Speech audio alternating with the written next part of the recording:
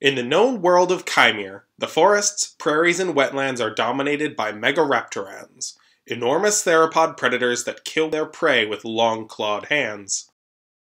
Their dominion extends beyond the known world, with the eastern continent, which is larger than Eurasia, also being ruled by these predators. The Kurajaku is the largest theropod to ever evolve, and makes its home in the rivers, estuaries, and along the coasts of the previously mentioned continents and thousands of islands.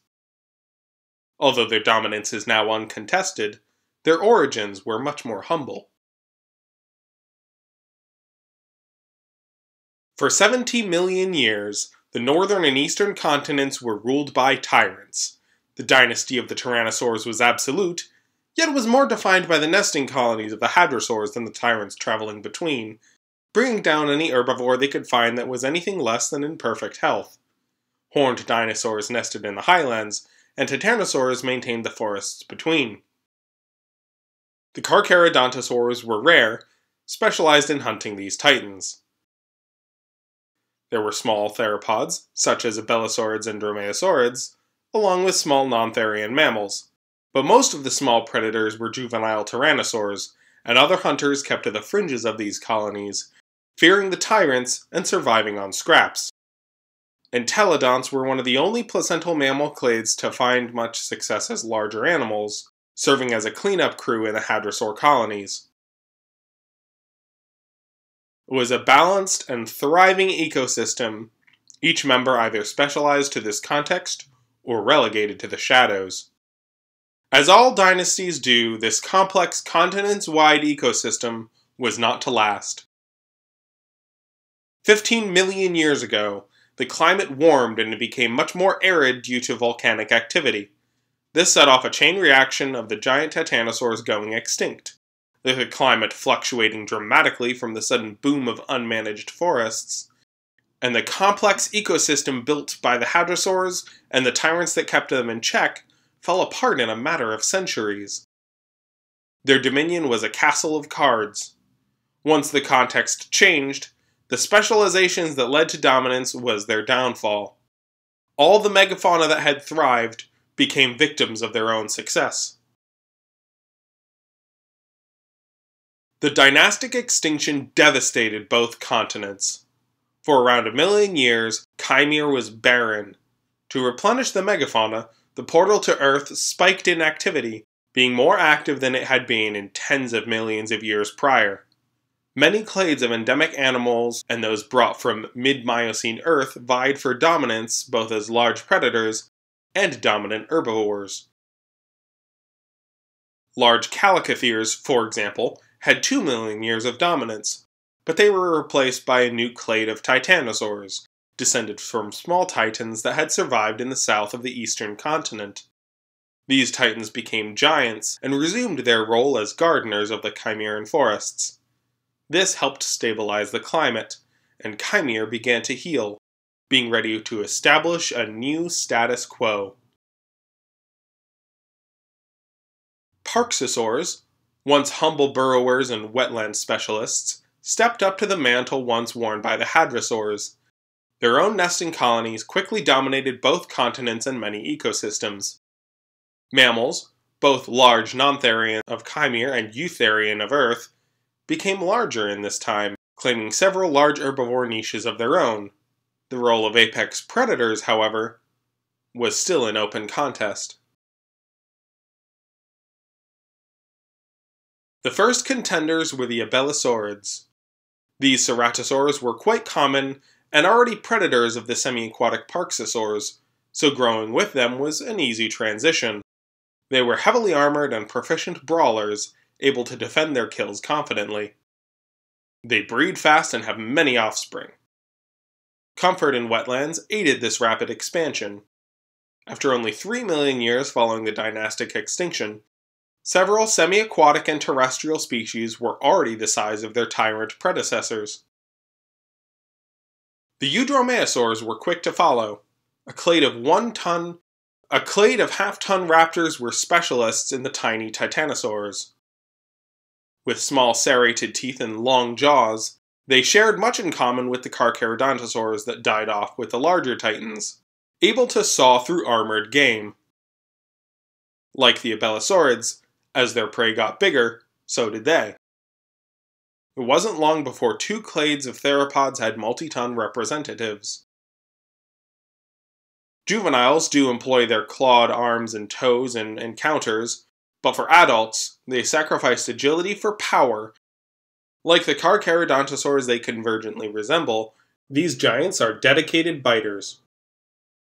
Theropods were not the only clade to present a contender for the apex predator role. The entelodonts, once humble scavengers, answered the call with hell pigs the size of an elephant.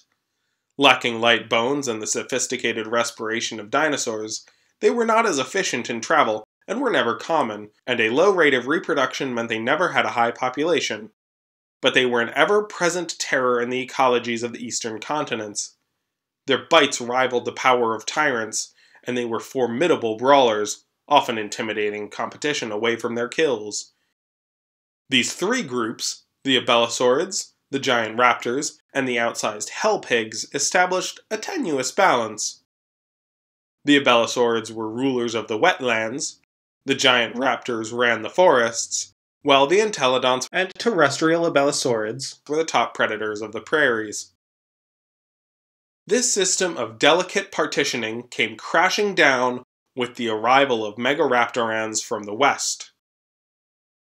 The western continent of Arvel was isolated from the portal before the arrival of the Tyrannosaurs.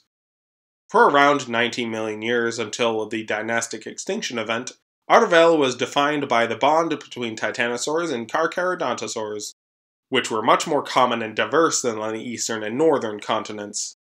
The massive titans and their shark-toothed killers went extinct there too.